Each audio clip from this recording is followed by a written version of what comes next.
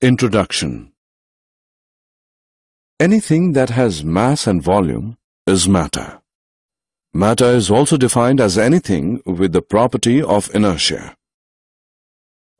All of the solids, liquids and gases that you may encounter in your daily life would be classified as some type of matter.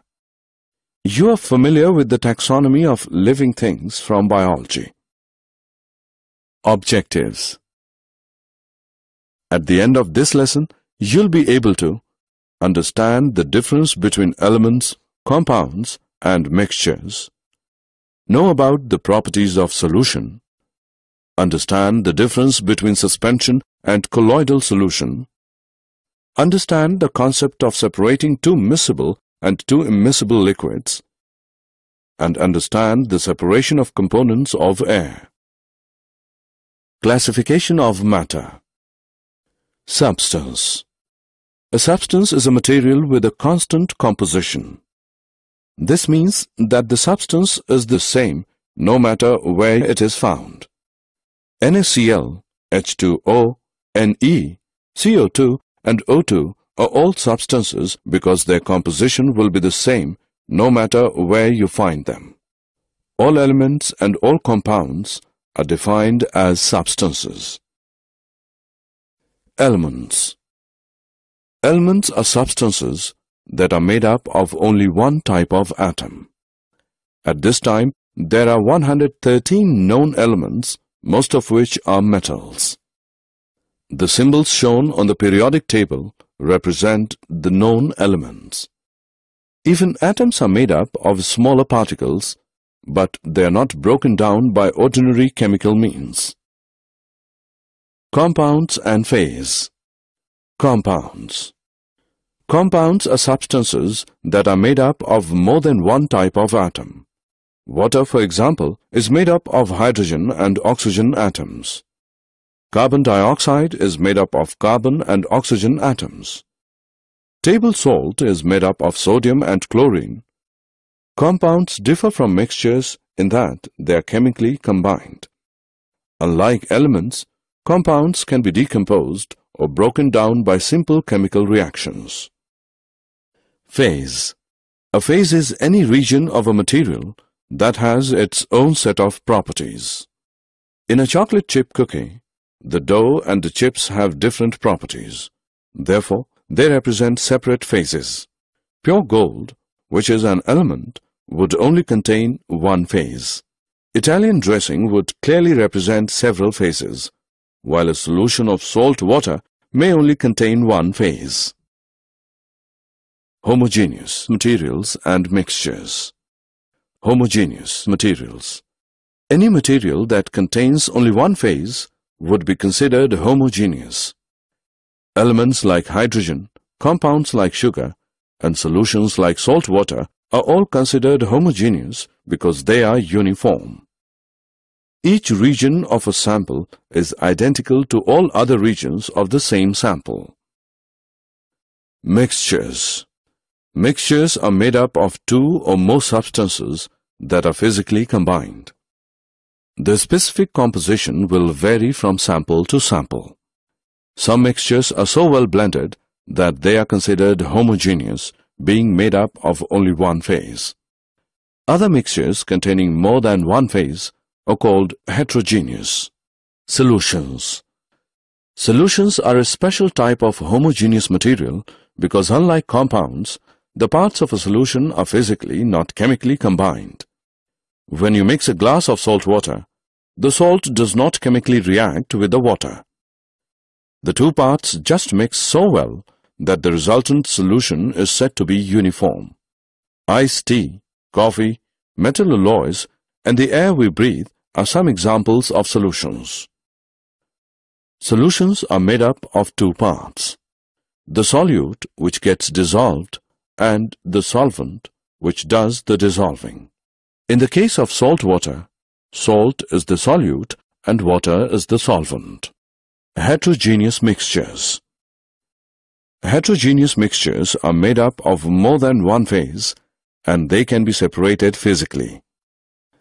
Chocolate chip cookie, a tossed salad, sand, and a bowl of raisin bran cereal are all examples of obvious heterogeneous mixtures. Element An element is a simple substance which cannot be further divided into any simpler substance by ordinary chemical means. Copper, hydrogen, iron are some examples of elements. There are about 114 elements known to mankind. Uranium is the heaviest element and hydrogen is the lightest element.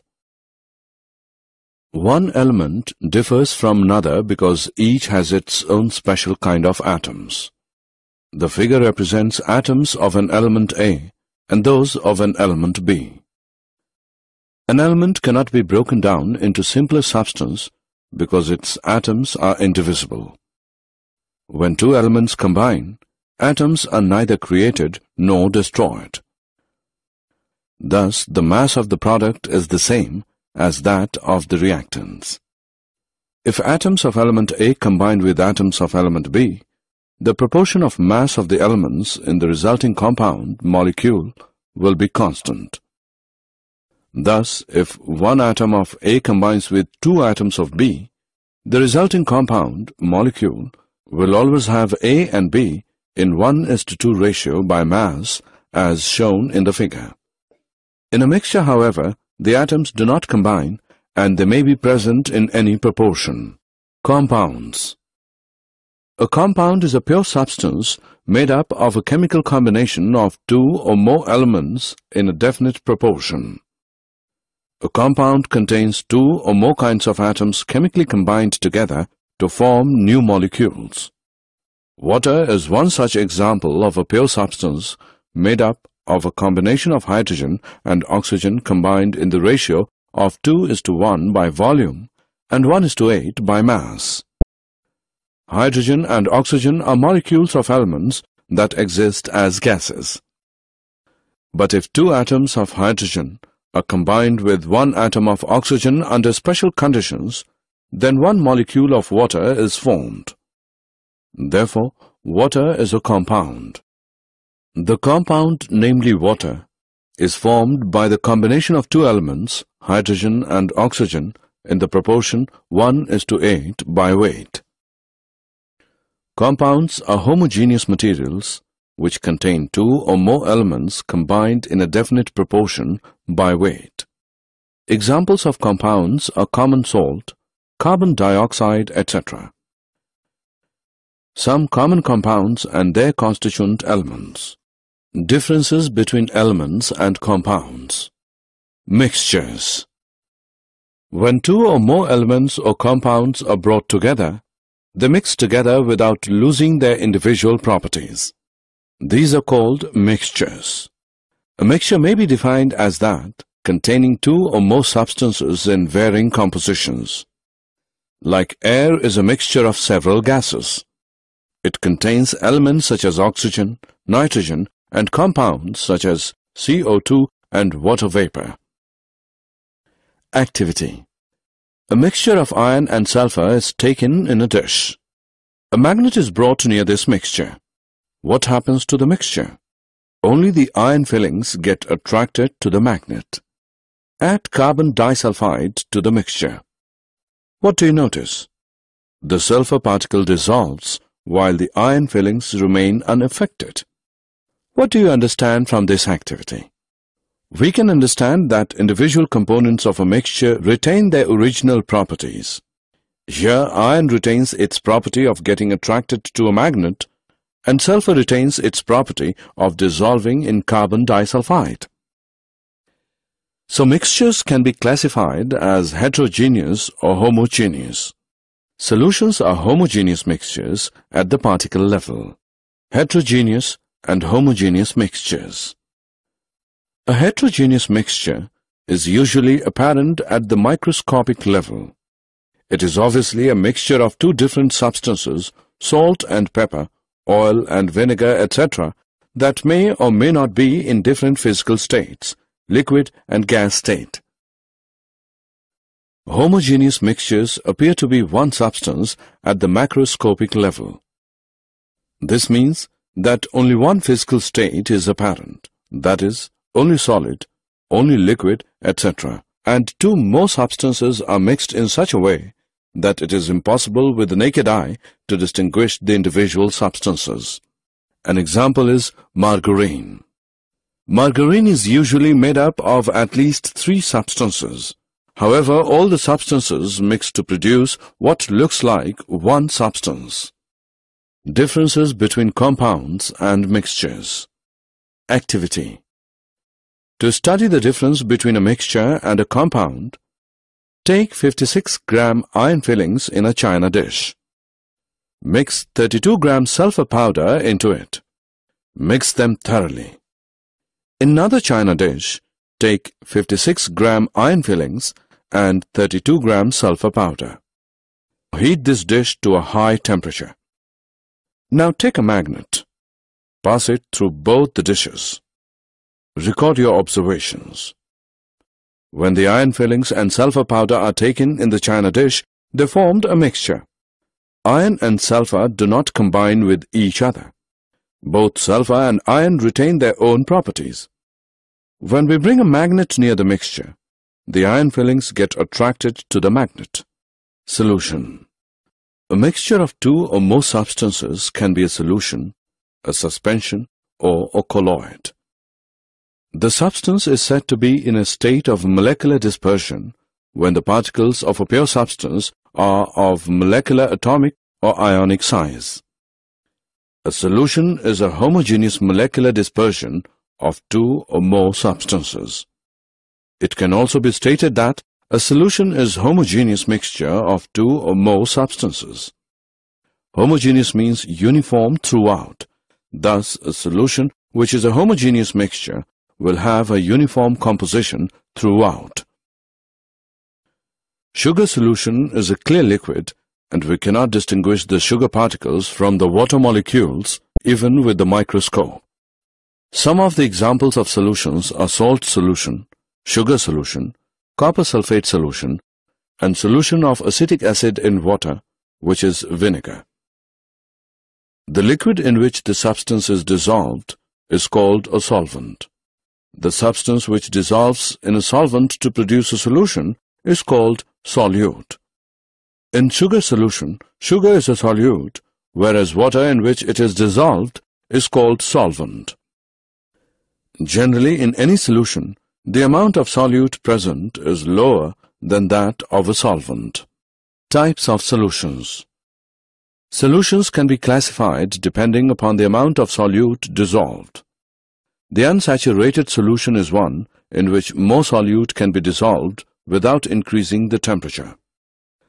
A saturated solution is one in which the maximum possible amount of a solute is dissolved at a given temperature. In a saturated solution, dissolved and undissolved solutes are in equilibrium with each other. A supersaturated solution is one in which the amount of solute is more than the saturation concentration. Properties of a solution A true solution is a homogeneous mixture. The components of a solution cannot be separated easily, such as through filtration. The size of a solute particle is extremely small and of an order 10 raised to the power minus 8 centimeter in diameter. The particles of a solution cannot be seen even under a microscope. The solution is clear and transparent. The solutions are stable and solute particles do not settle down when kept undisturbed. Suspension Some substances do not dissolve in liquids. Small particles of such substances remain suspended in the liquid. For example, sand, mud particles remain suspended in water. Similarly, solids may remain suspended even in gas. These mixtures are called suspensions. Suspension is a heterogeneous mixture in which small particles of solids remain suspended throughout the mass of the liquid or gas without getting dissolved. Properties of suspension A suspension is a heterogeneous mixture in which small particles of solids remain suspended throughout the mass of the liquid or gas without getting dissolved. The particles in a suspension are visible even to the normal eye. The diameter of the particles is of the order 10 raised to the power minus 5 centimeter. The particles in a suspension can be separated from the liquid by filtration. The particles of suspension will settle down on standing. Colloids A colloidal solution appears to be homogeneous, but it is actually heterogeneous when viewed through a powerful microscope. A colloid is an in-between a true solution and suspension. A colloid is a solution in which the size of the solute particles is bigger than that of a true solution, but smaller than that of a suspension. Some common examples of colloids. Tyndall effect. A colloid scatters a beam of light passing through it. It means that a beam of light passing through such a colloid is visible. If a beam of light passes through a colloid kept in a dark room, the path of light can be seen due to the scattering of light by colloidal particles. The same effect can be generally observed when a beam of light passes through air containing dust. This scattering of light by colloidal particles is known as Tyndall effect. This effect is not shown in true solutions. In liquids, the Tyndall effect can be easily seen by using a laser pointer. If you dilute milk to where it is almost clear, or if you have any type of solution, such as colloidal silver, then the beam of the laser can be easily seen as it travels through the liquid. Separation of mixture and two immiscible liquids. Separating the components of a mixture. Heterogeneous mixture can be separated by simple physical methods like handpicking, filtration, etc. But special methods are needed to separate components of a mixture. Separation of two immiscible liquids. The separation of two immiscible liquids can be done by using a separating funnel. Activity Take a separatory funnel and the mixture of diethyl ether in a separating funnel. Allow it to stand undisturbed for some time. The layers of diethyl ether and water get separated. Place a receiving flask under the funnel, remove the stopper from the top and open the stop cock. Pour out the lower layer of water. Close the stop cock of the separating funnel as diethyl ether reaches the stop cock.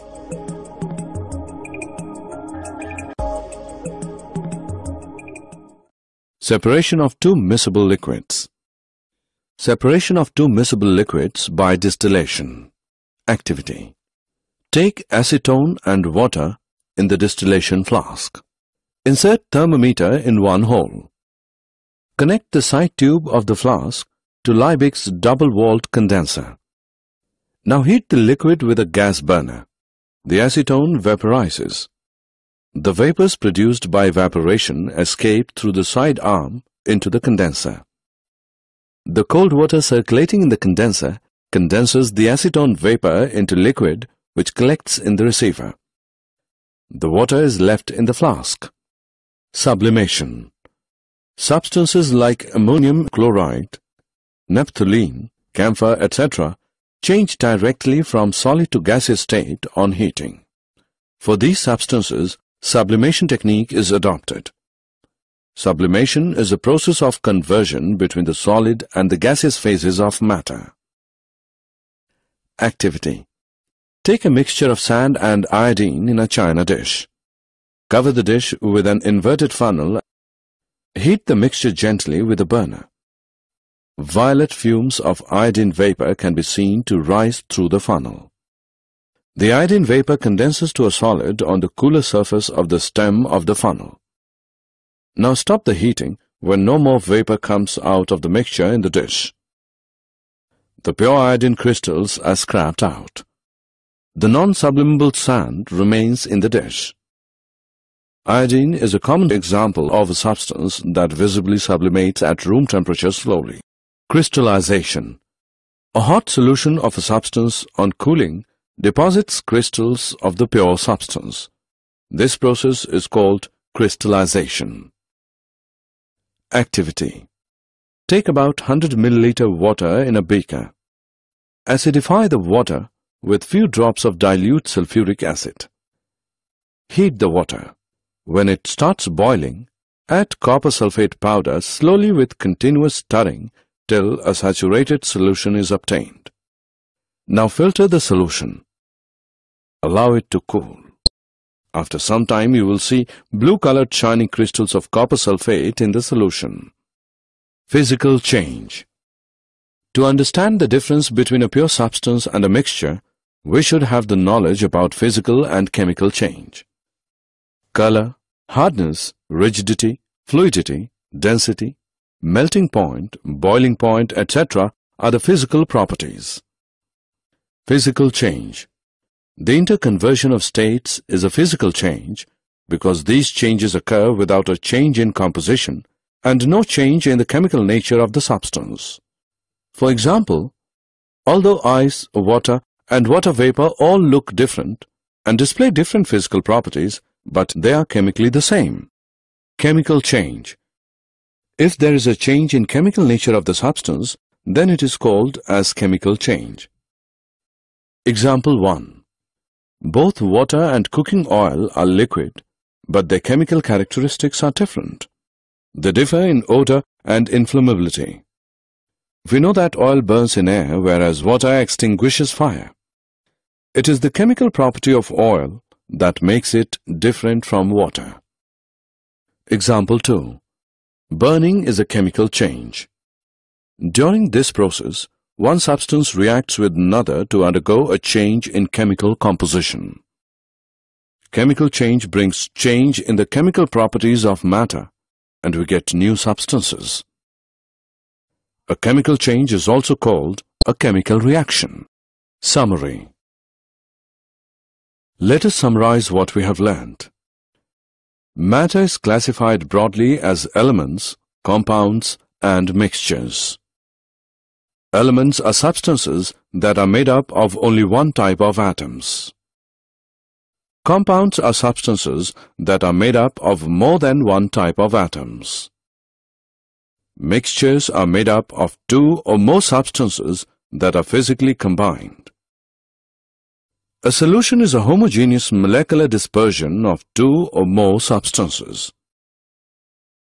The liquid in which a substance is dissolved is called a solvent. The substance which gets dissolved in the solvent is called a solute. Solutions are classified as unsaturated, saturated and supersaturated solutions. Suspension is a heterogeneous mixture in which small particles of solid remain suspended throughout the mass of the liquid or gas without getting dissolved. A colloid is in between a true solution and a suspension. A colloid is a solution in which the size of the solute particles are bigger than that of a true solution but smaller than that of a suspension.